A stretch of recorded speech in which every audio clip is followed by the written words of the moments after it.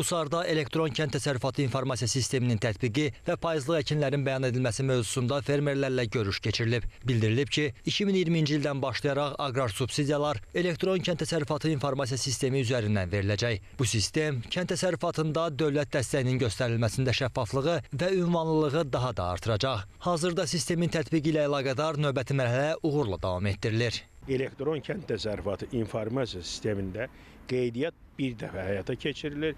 Yəni hər bir şəxs, hər bir fərd, sahibkar, fermer bir dəfə şəxsi kabinetini yaradır. Növbəti illərdə sadəcə olaraq bircə dəfə öz mobil telefonundan, kompüterundan, öz planşetindən hər il əkdiyi, əkəcəyi məhsulu ancaq bəyan edilir. Çox asan, gözəl, sadə bir sistem.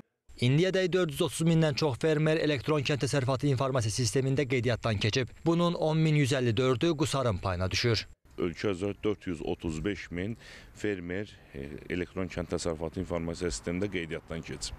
Və artıq bu fermerlərdən 278 min nəfəri payızlıq əkinləri bəyan ediblər.